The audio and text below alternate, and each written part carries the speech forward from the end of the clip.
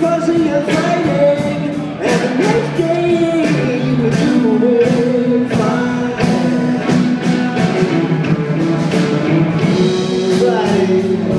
beautiful. Saturday, we have peace. Sunday, we go to church. That Sunday woman called the police. Leave my woman. Don't get along with wondering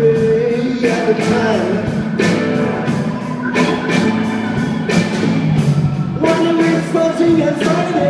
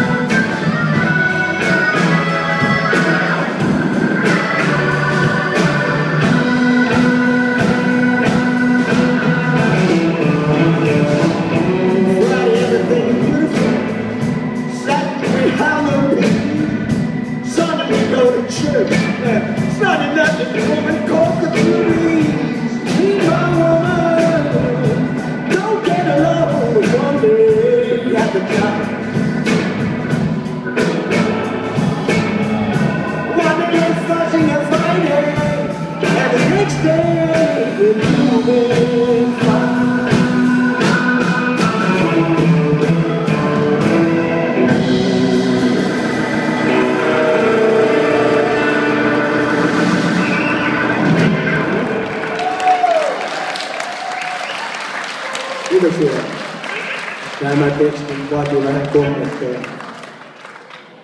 Joka toinen päivä menee hyvin ja joka toinen päivä huonosti.